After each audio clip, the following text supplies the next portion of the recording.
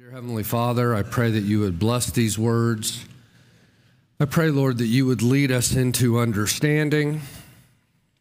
I pray that your word would be attended with the power of the Holy Spirit. Lord, I, I pray that what is said this morning and what is thought would be pleasing and acceptable to you. We come this morning, Lord, because you have made us the sheep of your pasture. We come this morning because you sent the Lord Jesus Christ to die for sinners like us. We, we have come this morning because you have poured out grace and mercy upon your people. And so, Lord, we come to worship you, to give you the glory, to thank you, and to sit at your feet. So, Lord, teach us Clear our minds of all that is in the world. To you be the glory, we pray in Christ's name. Amen. Well, earlier this week, I was at home and there was a knock on the door. Our dog started barking, and I opened the door, and there was a young man there with a book in his hand. And he said to me, I am a Jewish Gnostic. And I want to tell you how you should live your life, how you can save yourself. To which I responded, How do you think I should do this? How can I save myself? He said, It's obvious that the world is evil. All that is in the world is evil. The only way that you can avoid the temptations of this world is to avoid the things of this world.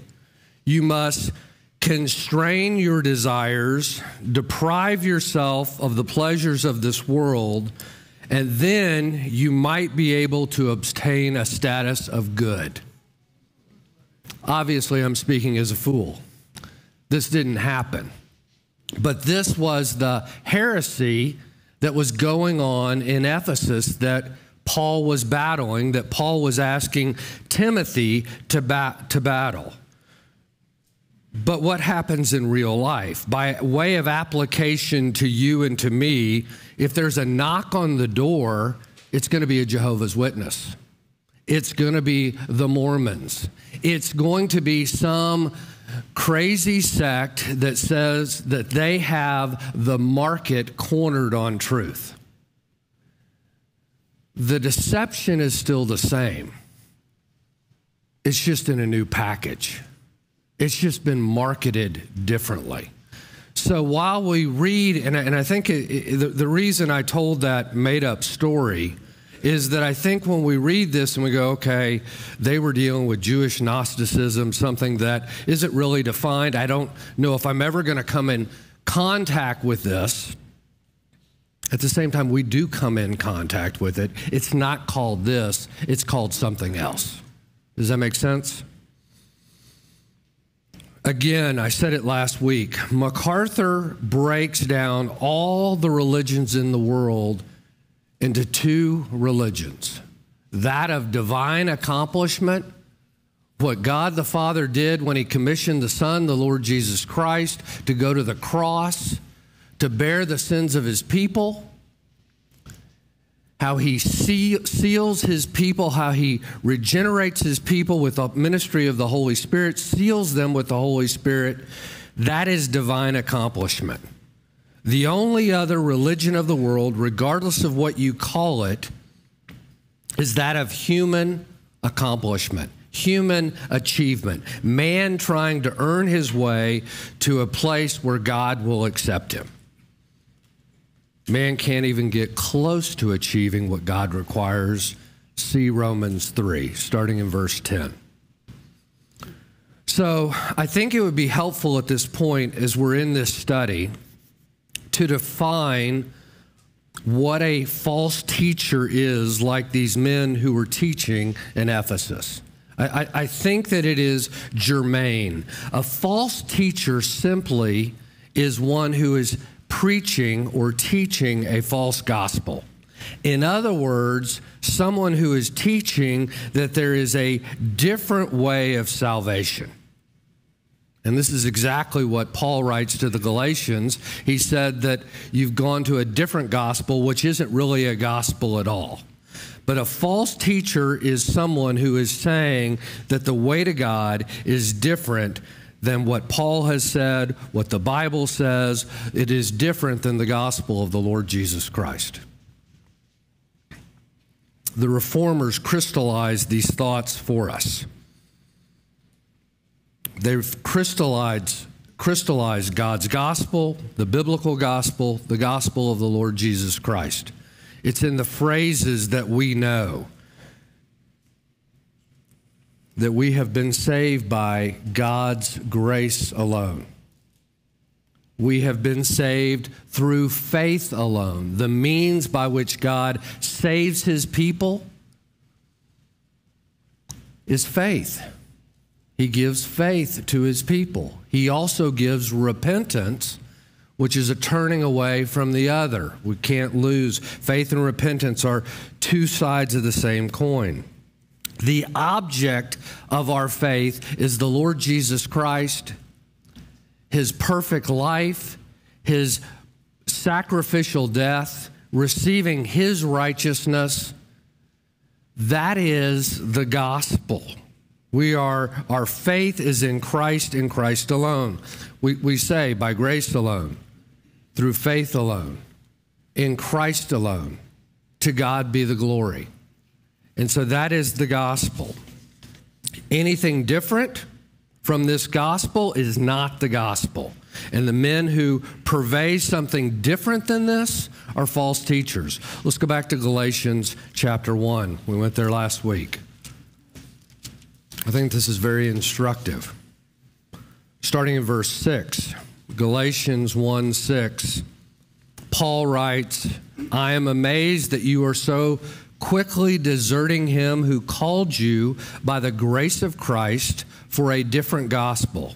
Here it is, which is really not another. Only there are some who are disturbing you and want to distort the gospel of Christ.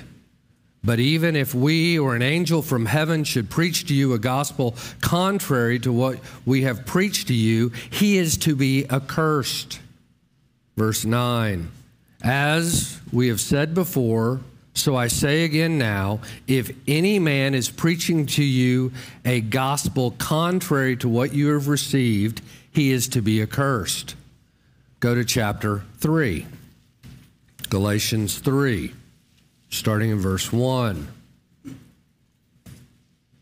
In Paul's mind, there's this whole argument between how God is accomplishing salvation for his people and those that are trying to achieve salvation through law keeping. So he says to them, Galatians 3, verse 1 You foolish Galatians, who has bewitched you? before, who I, before whose eyes Jesus Christ was publicly portrayed as crucified. The only thing that I want to find out from you did you receive the Spirit by the works of the law or by hearing with faith? Obviously, hearing by faith. Verse 3 Are you so foolish? Having begun by the Spirit, are you now being perfected by the flesh? Did you suffer so many things in vain, if indeed it was in vain?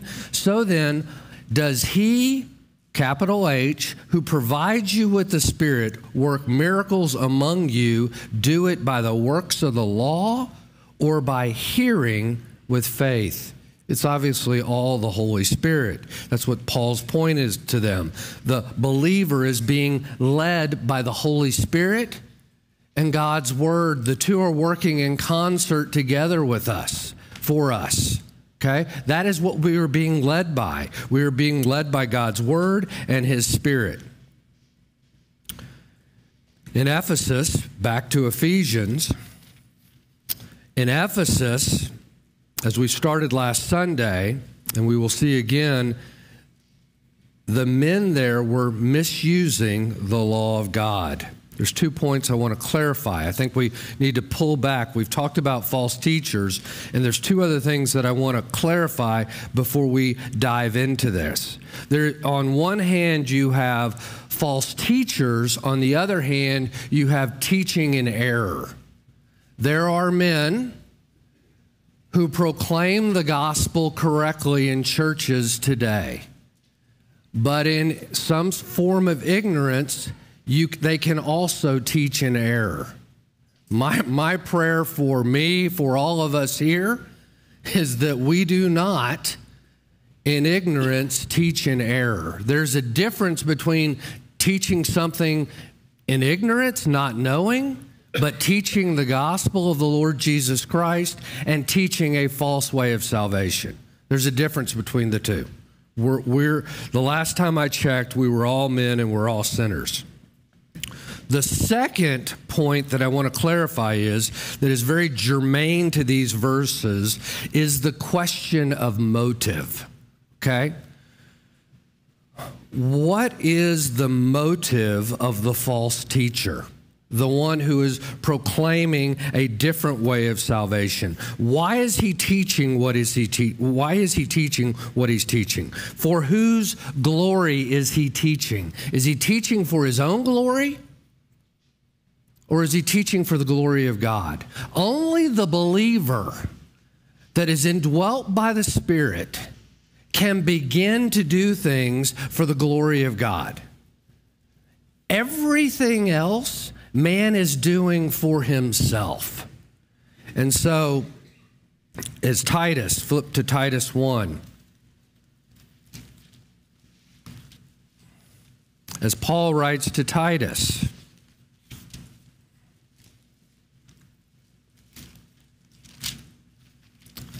starting in verse 10, Titus 1:10.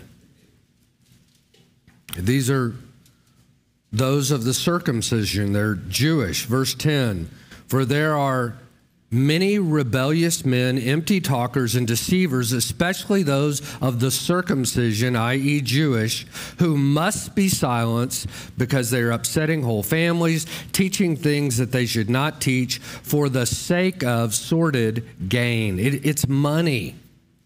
Only the believing preacher can begin to seek to do the things for God, for His glory, and the power of the Spirit. The false teacher is a slave to his own sin, and thus all he can do is seek to satisfy himself. That's the danger of the false teachers. It is always gets so twisted because it is looking to glorify man in some way, shape, or form and not that of God. So, in our verses today, I want to read verse 7 again because it's germane to what we're talking about. Even though we're starting in verse 8, I've got it marked in my Bible and I can't find it. Here we go. Verse 7, Paul makes a statement wanting to be teachers of the law, capital L, even though they do not understand either what they are saying or the matters by which they make confident assertions. Again, from last week, these false teachers are prominent members of the local church. They may be elders, deacons, they are setting themselves up to be teachers, but a specific type of teacher. They want the prestige of being teachers of the law, being teachers of the Mosaic law. The teachers of the Mosaic law were the Jewish rabbis. They wanted to be treated and honored in the same way that the Jewish rabbis were honored. But Paul says they have no idea what they're even saying and most dangerously about it, they're saying it confidently. Okay? So I've broken our, our verses 8 through 11 into three sections. Verse 8a, the beginning of verse 8, is the character of the law. The character of the law. Paul writes at the beginning of verse 8, but we know that the law is good. The law in mind here, the law in view here that Paul is talking about, is the law that God gave Moses in Exodus 20 on Mount Sinai, and specifically, we're referring to the Ten Commandments. The law is instructive. The first four commandments that God gives Moses talk about man's relationship and man's responsibility to God Himself. The six next commandments, the, the following six commandments, tell man his responsibility, what is required of him to his fellow man. So we have God and then man, okay? Paul gives us commentary on this in Romans 7. Go back to Romans 7. Gives us commentary on this being the law specifically. Romans 7.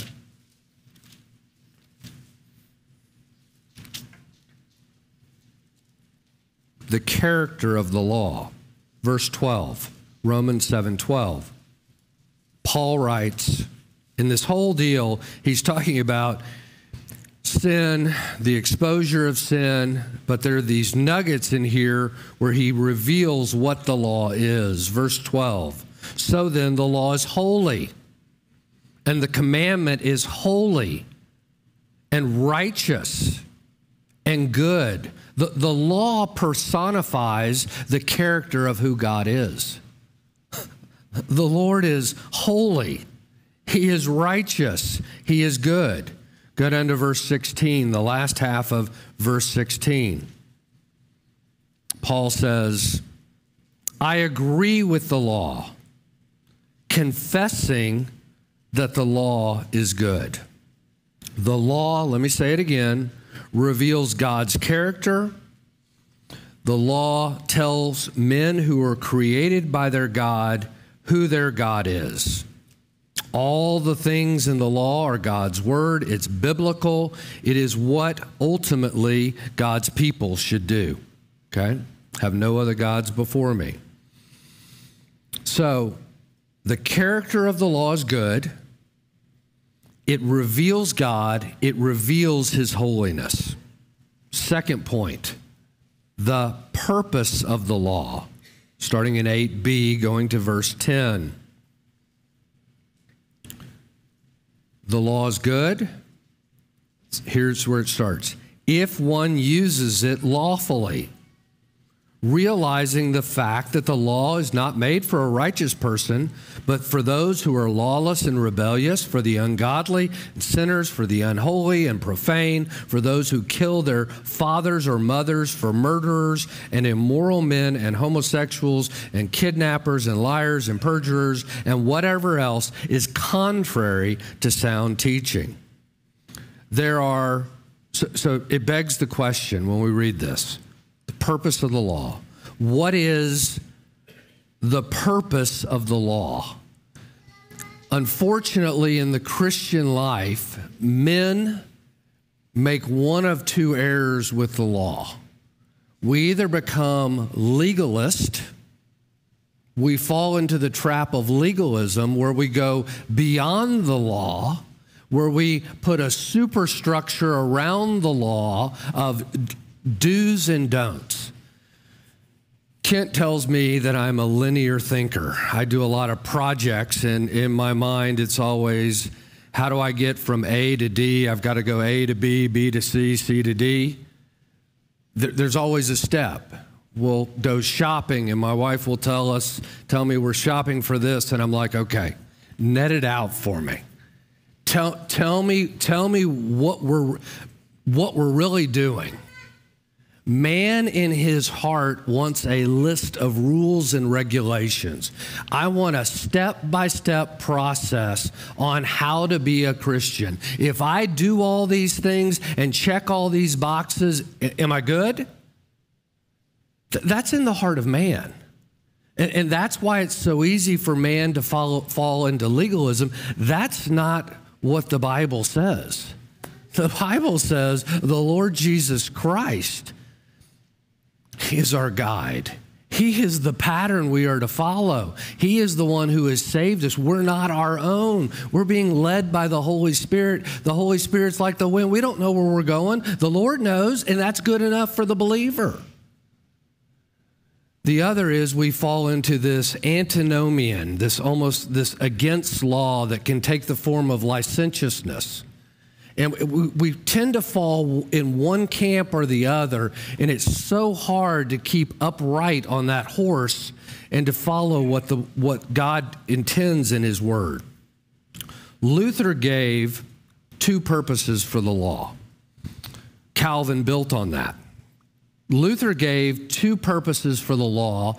Number one, it was for the use of society specifically the law do not murder, do not commit adultery, was a pattern by which, in our case, government or the rulers could set society up in a way that was promoted well being for everybody. Okay? The second purpose of the law, which is what Paul has in view here in this section, is the law reveals sin. The law reveals that you and I, being sinners, born into sin, cannot keep this holy law. We will break this law. So, the whole purpose in Luther's mind was that the law reveals that God is holy and man is not. Calvin added a third, and it's not really in view here in what we're talking about, but just so you have it in your mind, the means he, he added that the law was a pattern of life and sanctification, that ultimately Christ fulfilled the law. We follow the law of Christ. Christ, we thought the law said this. Christ further explained it and the calling's even higher. Okay? But that's not really in view here. But that is the third part of the law. The law reveals sin and it reveals the need for a Savior. Okay? Go back to Romans chapter 3. The law reveals that God is holy and we are not.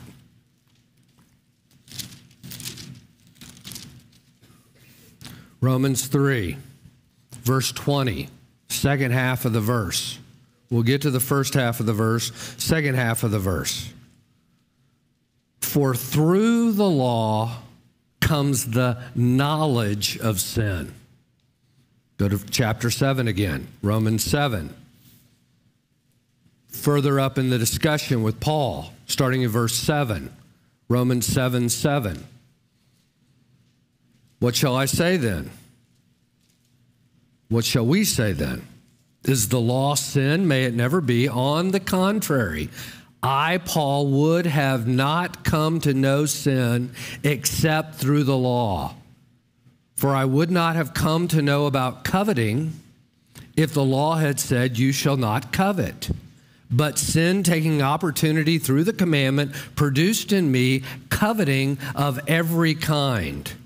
For apart from the law, sin is dead. Sin isn't exposed. The law is the light that exposes the sin, in other words. Verse 9 For I once, I was once alive apart from the law, but when the commandment came, sin became alive and I died. And this commandment, which was to result in life, proved to result in death for me, for sin, taking an opportunity through the commandment, deceived me, and through it killed me.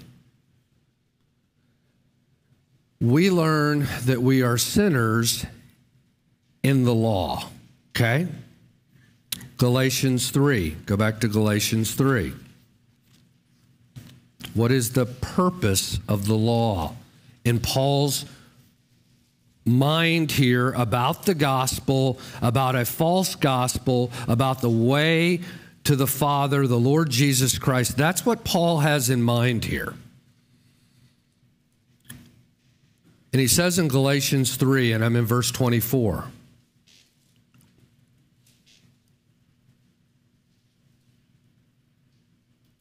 Therefore, the law has become our tutor. And that tutor there, the, the, the Romans hire, used to hire the Greeks as slaves. They had a slave, and the, and the slave would be the master of a young child.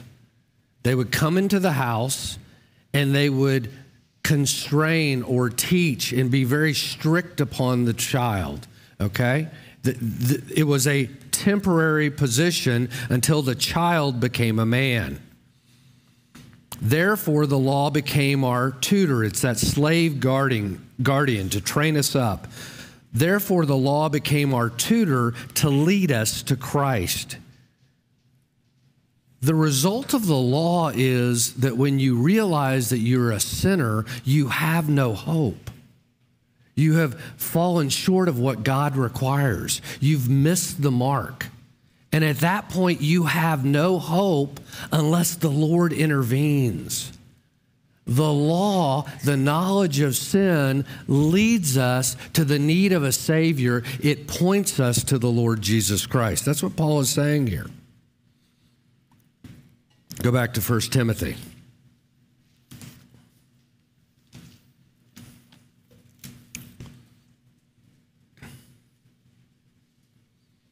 Verse 8 Purpose of the law. But we know that the law is good.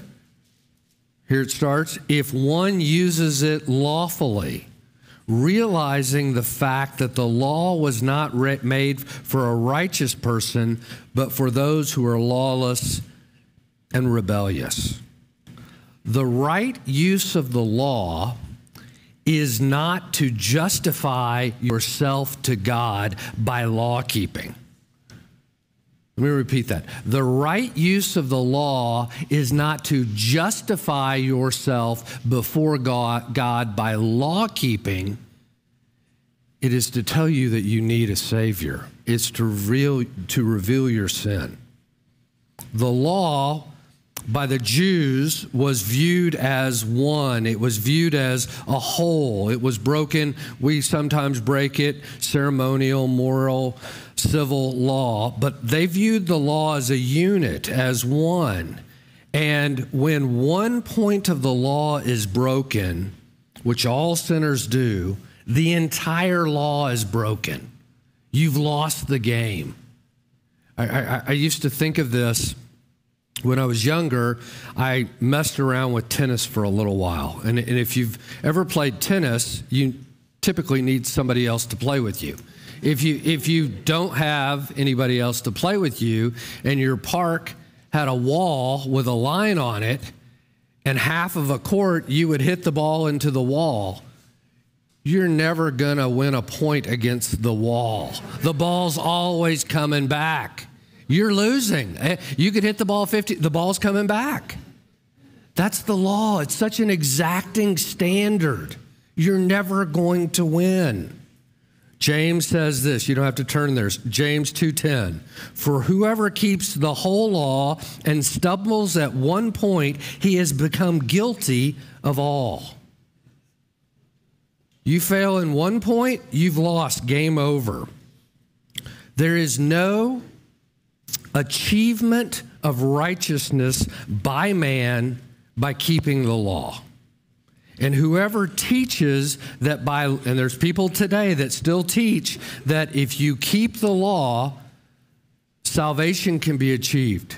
That is a false message. That is a false doctrine. That is a false gospel if, you, if we could even go there.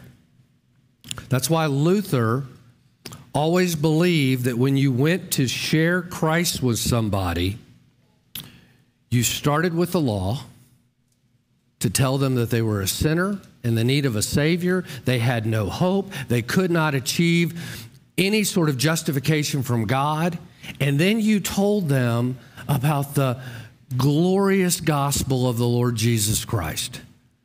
That through faith in someone else, you could get a foreign righteousness that's credited to your account so that when the Father looked at you, he saw not your sin, but the righteousness of the Lord Jesus Christ. Luther always said, gospel, law, and then gospel. Lawson, if you were here several weeks ago, he preached it, he preached it hard. Repentance and faith, they're two sides of the same coin. In order to be truly saved, you have to repent of your life outside of Christ, repent of your sins, and that picture of repentance is turning from that life to the Lord Jesus Christ. There is no faith without repentance. It's, it's what the law gives us. It's you're repenting of sin. Righteousness, which is being declared righteous by God, we call that justification, has always been through the means of faith. Old Testament, New Testament, it has always been by, through the means of faith. Paul is telling us that the law is not righteous with respect to salvation because they are already righteous in the Lord Jesus Christ. The Lord Jesus Christ has already paid for their sins, past, present, and future. So Paul is making a distinction between those that are already saved and those who have not been saved. He's looking at those, again, the, the picture, the focus here is salvation. And so Paul says the law is not for the righteous, not as a pattern of life, not as what Calvin talked about but the law is not for the believer, the righteous, because they've already been saved out of their sin. The law is for the unrighteous. If you remember, in God's salvific economy, Abraham was saved in Genesis 15 6. He was saved by faith. God took him outside, showed him the stars of the heaven. One of those stars would have been brighter, it would have been the Lord Jesus Christ said he believed and it was credited to his account. God credited that righteousness. It was through the means of faith. It wasn't until 430, 50 years later that the law came to Moses on Mount Sinai. Salvation in the Old Testament, salvation in the New Testament, salvation has always been by faith. We got people that get so confused. Why I, I thought that God's standard was different in the old. It's always been the same. Law was to show them that they needed a Savior. Go back to Romans chapter 3.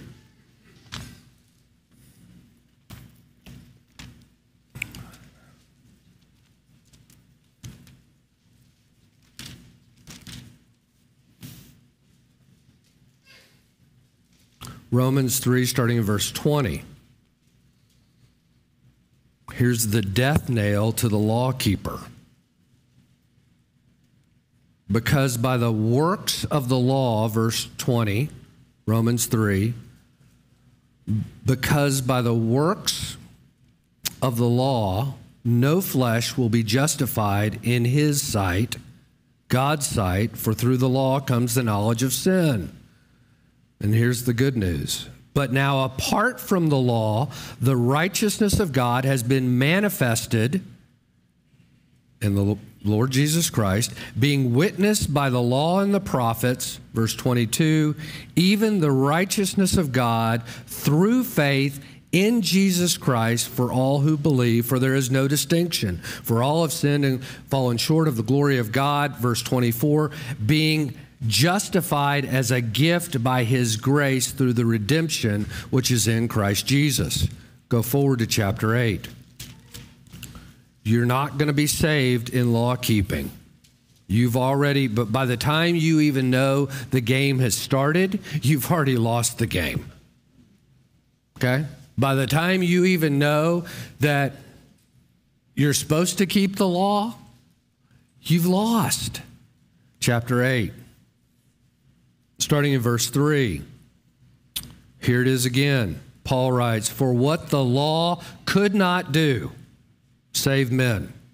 For what the law could not do, weak as it was through the flesh, God did, sending his own Son in the likeness of sinful flesh as an offering for sin. He condemned sin in the flesh in order that the requirement of the law might be fulfilled in us who do not walk according to the flesh, but according to the Spirit. Christ fulfilled the law. Again, why is the law not for the righteous man? Because our righteousness, our law keeping was accomplished in the Lord Jesus Christ. He's without sin. We have his righteousness, a foreign righteousness. Okay? Go forward to chapter 10. Just in case we miss the point. All right? Paul gives this beautiful ministry paradigm starting in verse 14. God sends the preacher, they preach the message, the, the good news. That's how they believe. He says it all in reverse. And the climax is in verse 17. So faith comes from hearing, and hearing by the word of Christ. That is the means of salvation. Go back to 1 Timothy. If you can, it might be interesting to hold your finger in 1 Timothy and at the same time hold your other finger, if you have more than one fingers, in Exodus chapter 20. When Paul gives this list, and we don't want to be on this list, he has the Mosaic Law, specifically, he has the Ten Commandments in view. I'm, I'm just going to, in Exodus 20, I just want to sort of frame this in our minds.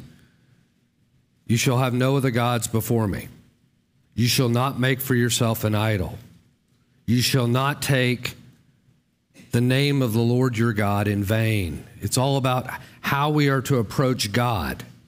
Well, these first words that are used here, there's six of them, they're in pairs, all condemn man against the first four commandments, which is in Exodus 20, verse 3, 4, 7. Listen to these words.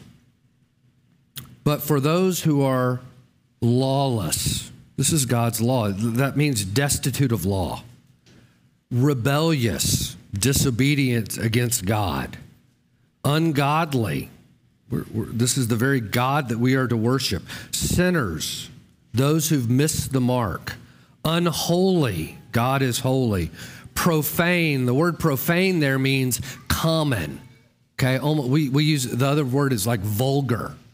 There's things were created for common use or they were set aside to be holy. And so all these are in a contrast for who God is and how these men have fallen short of what God requires. You don't have to turn there, but you know these verses. In Matthew 22, starting in verse 36, the someone comes to the Lord Jesus Christ, I think it was a lawyer, and said, Teacher, which is the greatest commandment of the law? And he, and he responds, and this is the call of the Christian. This summarizes these first four commands in Exodus 20. Christ said to him, You shall love the Lord your God with all your heart, with all your soul, and with all your mind. This is the great and foremost commandment. Look at the next list of words in Timothy.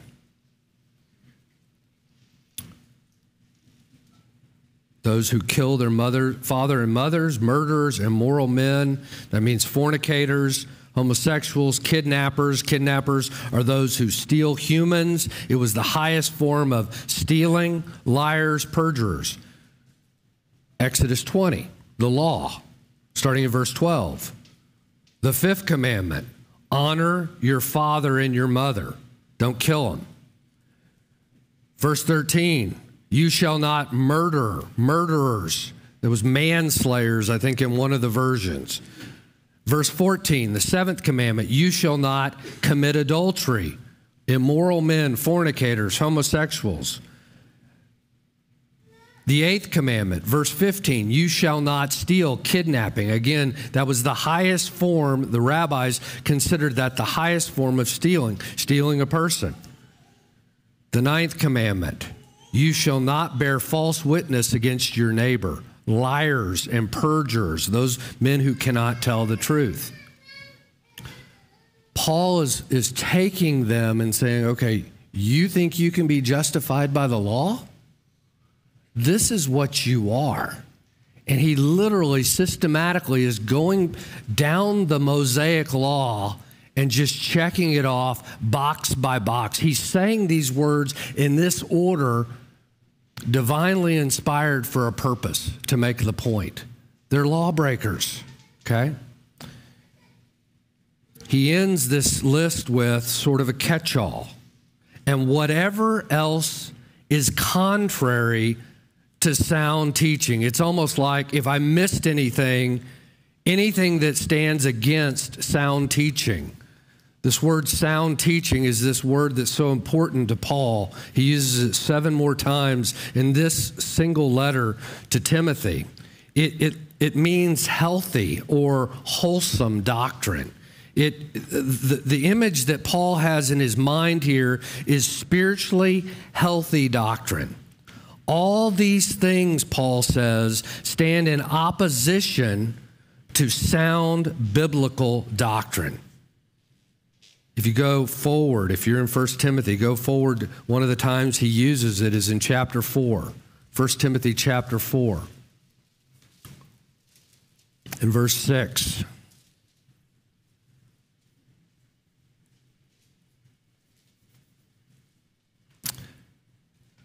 Remember, the reason you, the, the reason in Paul's letters it was doctrine, doctrine, doctrine, application, application, application. Doctrine is practical. Doctrine is the anchor in which we anchor our lives that we can live for Christ. Doctrine tells us who God is and who man is. It is the most important thing we can understand is God's doctrine. Biblical doctrine. People will tell you doctrine is divisive. Doc, doctrine divides. I hope it does. At the end of the day, it doesn't matter what Matt says. It doesn't matter what I say. It doesn't matter what you say. It only matters what God says. This is His world and we're living in it. He's told us how we are to approach Him. It's through His Son, the Lord Jesus Christ. If we're about to be about the Lord's business because we're the Lord's people, I think we ought to know what He wants us to do. It's biblical doctrine. 1 Timothy 4 6. In pointing these things out to the brethren, you, Timothy, will be a good servant of Jesus Christ, constantly nourished on the words of faith and of sound doctrine, there it is, which you have been following.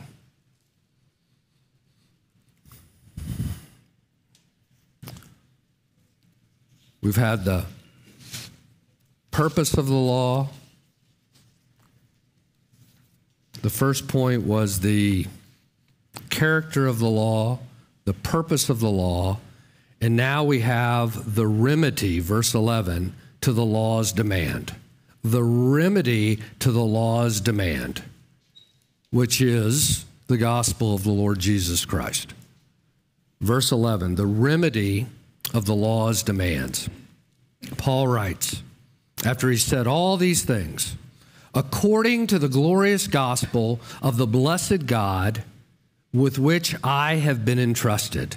Paul concludes this section that started in verse 3 what he's been saying about the law, the purpose of the law, the rightful use of the law. And he says, All these things I've been saying are in accord to the gospel that I've been given by God Himself through divine inspiration. This is the glorious gospel. That word glorious is doxa, doxology. It literally means the gospel tells us of the glory of God. Dr. Johnson said it this way when he was talking about this in the glorious gospel. He says, This glorious gospel tells of his power, God's power, of his majesty, of his compassion in the person and work of Jesus Christ. Why the law tells of man's sinfulness, but the gospel tells us of the remedy in the compassion and saving ministry of the Lord Jesus Christ. These men are false teachers. They're teaching that salvation can be accomplished through some sort of law keeping. And Paul says the answer is in the gospel. That is, that is one, of the, one of the tenets of this church is to share the gospel with the lost. Because it is, it is the means of salvation by which God draws his, his people to himself. That's the means. Sharing Christ, telling them of their need, sharing Christ. I love the way Dr. Johnson says that. In closing, let me just say this the law reveals the holiness of God and what he requires. And what he requires is perfect righteousness. The gospel tells us that we can be righteous in the Lord Jesus Christ. We can't do this on our own. That's why when we step back from this entire conversation and topic, the reason that God gets the glory is because he's done it all because you and I can't do it. Are you a product of grace or are you a product of works? I hope you're a product of grace. Let's pray. Dear Heavenly Father, thank you for these words. I thank you, Lord, that you have shown your people grace and mercy in the Lord Jesus Christ that you came to seek and to save those who were lost. Lord, that you have done for your people what your people could not do for themselves. I pray, Lord, that, that we would avail ourselves to you using us. Use us for your glory. Lord, if there's someone here who does not know Christ, I pray that you would draw them even today if you be so willing that you would circumcise the heart and that you would cause the scales to fall from their eyes. We pray these things in Christ's name. Amen.